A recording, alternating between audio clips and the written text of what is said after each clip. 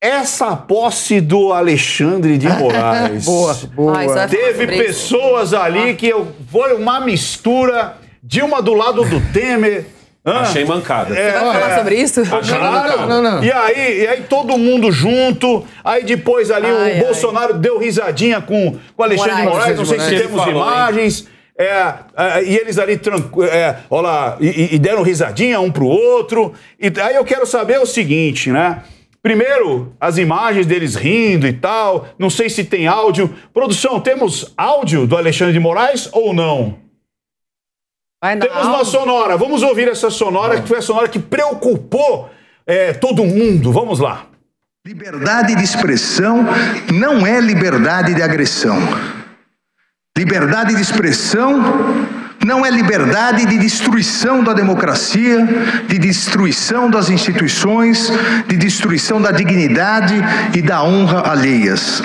Liberdade de expressão não é liberdade de propagação de discursos de ódio e preconceituosos. A liberdade de expressão não permite a propagação de discursos de ódios e ideias contrárias à ordem constitucional e ao Estado de Direito.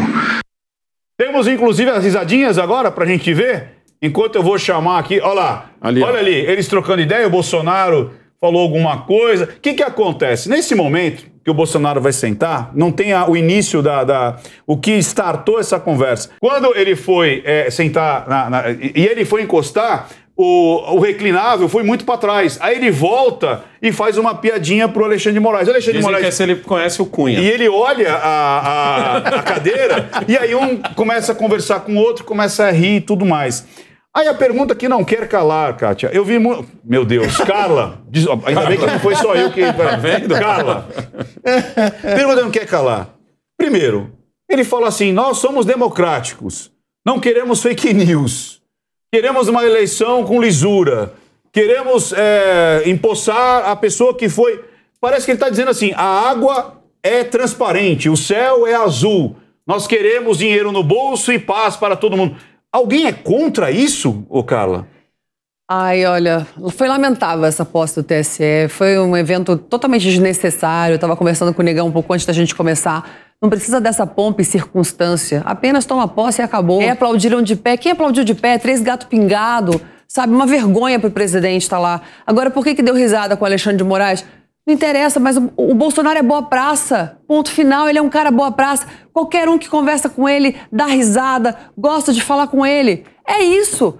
Se o Alexandre de Moraes conversar com ele, vai virar parça dele. Se o Lula conversar, é capaz de virar parça. Ele é um cara boa gente. Só que ele é massacrado todo dia na imprensa. Agora, liberdade de expressão. Liberdade é algo que não permite um mas, ao contrário do que a imprensa faz com tudo que o Bolsonaro faz de bom. A liberdade não tem mais. Liberdade mais, liberdade mais. Não, liberdade é liberdade. Você tem que ter direito de liberdade de expressão, que, aliás, é um dos primeiros artigos da Constituição Federal do Brasil, a qual o presidente do TSE, Alexandre de Moraes, deveria ser guardião, porque os membros do STF, os ministros, são guardiões da Constituição Federativa do Brasil. Liberdade de expressão não pode ter cerceamento de opiniões, cerceamento de questionamentos de métodos de ele- eleitorais que não começaram agora. Bolsonaro reclama do- do- do- da, da, da urna eletrônica desde quando foi votado em 2018. Você não pode impedir youtubers que têm os canais cancelados, desmonetizados, porque simplesmente questionam o status quo de um STF que tem metido os pés pelas mãos. O STF começou o inquérito das fake news, começou, deu start no inquérito. Isso não pode, não é permitido. Isso tem que ser feito um Ministério Público, tem que ser pedido por outra instância jurídica.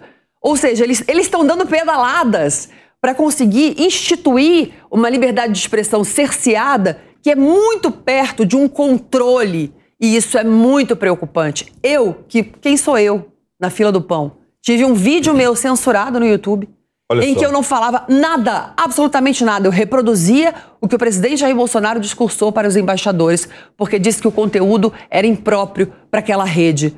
Eu tô com medo de sofrer censura nesse país em que eu sou livre, um país democrático, um país em que o presidente foi eleito e eu tenho direito de falar o que eu quiser e não ser presa, não ter medo de ser presa e poder ter liberdade de expressão. Isso sim é democracia e liberdade. Boa! Ninguém lá. vai me calar. Boa, boa! Palmas para cá, Zecato! Sem falar que, lembrando que o Vamos lá, Alexandre de Moraes mandou cancelar o Peraí, Telegram, né? Vamos lá que temos poucos minutos. também, né? O tempo Isso, urge, parece- já, já está acabando. Leonardo, Pois seguinte. é, eu vi muitas pessoas da, da esquerda, Uhum. né, dizendo assim: ha, ha, ha, o Bolsonaro caiu numa armadilha. Qual armadilha? Não, acredito que não. Eu acredito que ele cumpriu o papel dele de presidente da República. O mínimo que ele poderia fazer é estar lá presente, visto que outros ex-presidentes da República também eh, lá estavam. eh, o presidente Lula, o presidente Dilma, o Sarney e o presidente Temer. Né? Lembrando que desses, ah, Sarney e Temer não foram eleitos.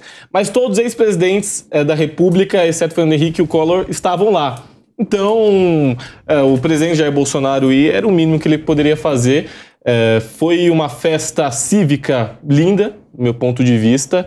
Eh, não porque eu acredito que o Alexandre de Moraes seja isso ou aquilo, porque Bolsonaro seja isso ou aquilo, mas porque a gente conseguiu reunir numa noite Jair Bolsonaro, Lula, Alexandre de Moraes, governadores, prefeitos de capitais. Então, nesse ponto de vista, ministro do Supremo Tribunal Federal, nesse ponto de vista, eh, isso mostra que está muito além a democracia, que a democracia tem que ser um valor abraçado por todos nós, por bolsonaristas, por petistas, por MDBistas, por tucanos, por pessoas que não têm vínculo ideológico propriamente dito ou partidário, e a democracia é um bem maior, e é um bem que tá, tem que superar o discurso ideológico. Então, eu, do meu ponto de vista, parabenizo o ministro Alexandre de Moraes, parabenizo os ex-presidentes da República, parabenizo o presidente da República, os presidentes das casas legislativas pela festa cívica e pela cerimônia que não só representa a posse do ministro Alexandre de Moraes com o presidente do TSE, mas representa que a nossa justiça eleitoral que a nossa democracia está a todo vapor e sim, teremos eleições limpas e livres. Isso é só uma constatação. Vamos lá, Roma, eu vou ler alguns trechos aqui que eu, eu assisti a cerimônia inteira. E é o seguinte: ele diz que é o único país do mundo que dá o resultado no mesmo dia. Isso Grande já me coisa. assustou. Não, já me assustou. Não. Não mentiu. Que que não? queriam. fez uma fake news. Aí, não, aí teve uma fake news interessante. É, que as pessoas queriam que o voto fosse preenchido com caneta. Que ele falou que as pessoas, inclusive, escondiam a caneta aqui, ó, né, na- no punho. Foi o que ele disse. Depois, é, Fake news. que as, as urnas foram aperfeiçoadas. Uhum. O exército disse que, que precisava ter mais camadas de proteção. Uhum. Ele disse que podemos discutir, mas desde que não seja fake news. É, sim. Porque se Quem decide que é fake Pois news? é. É, sim. Depois, é, como está. Aí o Bolsonaro não aplaudiu. E aí eu achei extremamente coerente. Também. Porque aquilo que ele não acredita, É óbvio. ele não aplaude. normal. óbvio. E as pessoas dizendo, olha, ele não aplaudiu. Mas é óbvio, se ele aplaudisse, Óbvio. aí que seria ser, ia ser Incoerente. incoerente. Agora, ele disse que é, ele não vai deixar é, que destruam a democracia. Já Como tá estão, destruindo. como estão destruindo a democracia? Eu, gosta- eu gostaria de saber também, Ricardo, como estão destruindo a democracia. Destruir a democracia, pra mim, é roubar o brasileiro da maneira. no maior esquema de corrupção que já houve na história do Brasil, quiçá do mundo, ser condenado, como disse muito bem a Carla aqui, ser condenado em três instâncias, ter sido julgado por mais de 20 juízes e depois num esquema, num esquema é, é difícil a gente falar isso, né, Carla? É, di- É, é a, difícil. gente, a gente tem que controlar as É, é, palavras. é difícil, É é muito triste. É, É, é. muito É triste. muito triste. Olha que ponto. ponto Não, chegamos. não, e a- e a a, gente- gente, tem que medir é, as palavras para não ser caçada, derrubada, indiciada, presa. Foi libertado, foi libertado, continua condenado, né? Continua condenado. Isso pra mim é ferir a democracia. Ferir a democracia é administrar o Brasil de tal forma a levá-lo quase à decadência total, a sermos infelizmente iguais à Venezuela, né? E depois ser tirada, ser tirada do poder e acharem que não, não, não foi nada, não, ela não cometeu crime nenhum, de fato não, não cometeu crime nenhum, né? Mas realmente quem sofreu na pele o desemprego sabe dizer como é bom ver ali Dilma, Lula, Temer. Aliás, só corrigindo o Leonardo, o Temer foi eleito, viu? O Temer foi eleito por quem votou na Dilma, tá? O Temer foi eleito por quem votou Foi eleito vice-presidente, não Dilma. presidente. É, mas foi eleito pelo voto. Vice-presidente, É não pra pelo isso presidente. que ele é eleito, É, pra, pra ele foi ocupar a cadeira caso voto. a presidência Ele saia. ocupou, ele virou presidente. virou Exatamente. presidente. Isso é Mas não democracia. foi eleito E, e- presidente. e outra, eu, eu, eu, eu quero, tô aguardando para ver, tô aguardando para ver aqui a análise do, da linguagem não verbal que certamente o Ricardo vai fazer do Eu Alexandre de Moraes. Eu, longe Tem de coragem? mim, longe de mim Tem, ser tem especialista, coragem. longe de mim ser, ser especialista, mas só o fato de um cara colocar ali na posse dele pessoas que feriram tanto o Brasil já mostra quais são as intenções dele. Alessandro Negão, eu quero saber as suas colocações sobre esse, essa benzedura. Tentaram juntar água com, com, com óleo. O que, que, que, que aconteceu com essa benzedura do TSE? Achei bem cafona essa, essa cerimônia aí. Pra mim era só ter falado assim, Alexandre, parabéns. Você é o novo presidente aqui, é você que tá mandando. Tamo junto, senta todo mundo aqui, bate palma pra ele, um abraço. Ia ter saído bem mais barato. Todos os dias eu e minha esposa a gente faz uma live para em média mais ou menos 3.000, 3.500 pessoas. Todos os dias eu evito de falar do, do- do STF. Todos os dias eu evito de falar de Alexandre de Moraes. Todos os dias eu, eu evito de falar de todos os ministros. Sabe por quê? Por um motivo muito simples. Porque eu tenho medo. Simples assim. Eu tenho medo. Não é nenhuma questão de, ah, negão, você não vai fazer ataques, você vai. Eu tenho. eu- uma que eu já sou o cara mais respeitoso, assim, quando, quando é em relação a autoridades. Eu, não, eu sou o cara que não fala esquerdopata. Eu jamais diria o, o tal do cabeça de ovo. Jamais. Eu, eu chamaria sempre o Alexandre pelo, pelo nome dele, o, o senhor ministro Alexandre de Moraes. Mas eu literalmente tenho medo. Sabe por que eu tenho medo? Vou falar alguns nomes aqui, ó. Oswaldo Eustáquio, Alan dos Santos, Daniel Silveira, o PCO, Bárbara do canal Te Atualizei, Terça Livre, Roberto Jefferson. No caso da Bárbara, é de quem eu mais tenho medo. Por quê? Porque a Bárbara teve o seu canal desmonetizado. Ah, essa a parte é engraçada. Tipo assim, ela não teve o canal desmonetizado, ela só não pode pegar o dinheiro que ela está fazendo com o canal dela. Olha que doideira, entendeu? No caso, no caso do Alan dos Santos é pior ainda, porque esse teve que dar a linha do Brasil. Entendeu? E hoje ele é. Hoje chamam ele aqui no Brasil de refugiado, não. Como é o nome? Foragido. Foragido.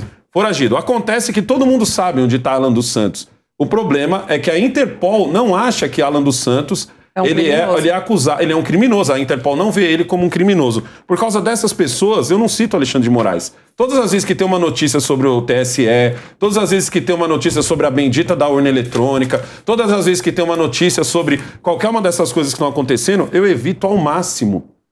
Eu tenho família. Eu sou arrimo de família. Na minha família eu ainda tenho que dar conta do meu pai, da minha mãe, da minha casa. Então eu não posso ter um carro preto da Federal batendo na cidade de Tiradentes seis horas da manhã. Como eu explico isso? É triste Eu não isso, posso né? ter. eu- então, tipo A assim. que ponto chegamos? Aqui a gente tem dois jornalistas profissionais. Eu sempre brinco que eu sou o cara, eu sou o cara do povo. Eu não tô aqui representando os negros. Eu tô aqui representando o povo. Eu sou o cara que grita e aponta dedo. Profissionais tá aqui, ó. Tá o Roma aqui, tá a Carla aqui na nossa frente. E olha só que até eles não podem falar direito. Então, tipo assim, tá muito errado as coisas aqui no Brasil. Seguinte, palmas pro Negão. Muito É o bom, seguinte, Negão. Eu tenho medo de ter medo. Essa que é a verdade. Porque falar nesse país virou crime.